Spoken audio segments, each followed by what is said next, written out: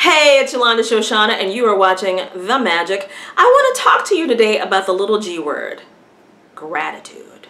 Now I know every week there's some expert or some guru talking to you about gratitude and you're probably over it. I get it, I get it.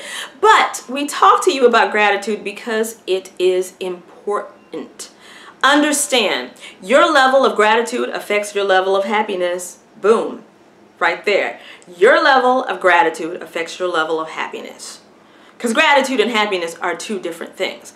Gratitude is really about shifting your perspective when things are not going your way to be grateful for what you do have. I mean, every morning I get up, I'm grateful because any day above ground already starts off a good day.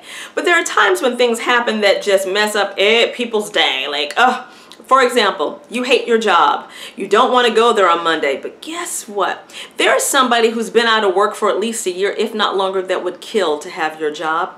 Here's another example. You're going on vacation, you're going to Paris, or you're going to Disney World, or you're going someplace sexy, someplace fun.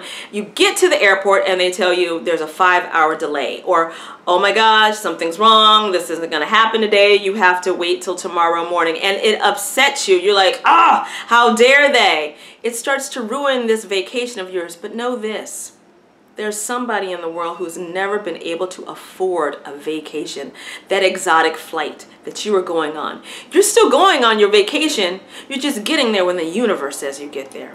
It's really about your perspective. Remember to be grateful because that helps you stay in the now because now is what we have. I want to challenge you to start a gratitude journal. I want you to put pen to paper and I want you to write down three things every day that you are grateful for. Only three. Your list can be longer if you want, but three things. If you can only think of one, then write that one down. And then the next day, push yourself. What are the two things?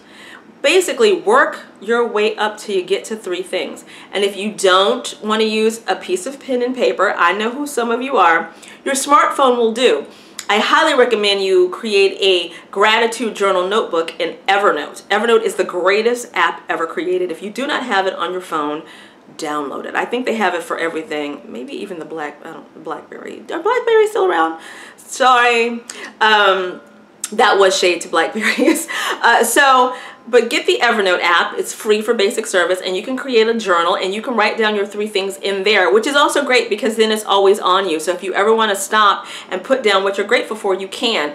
Because also you can use this online. So whether you're sitting on your computer or you're sitting on your smartphone, Evernote, I highly recommend it. But that is my challenge to you.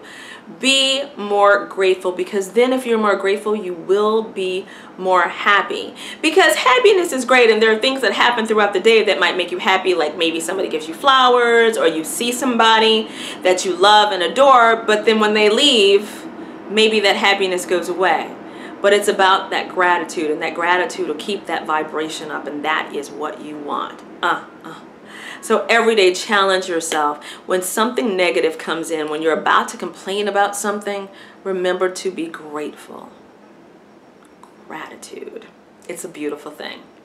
Every day, in your own way, rock your magic. Blessed be.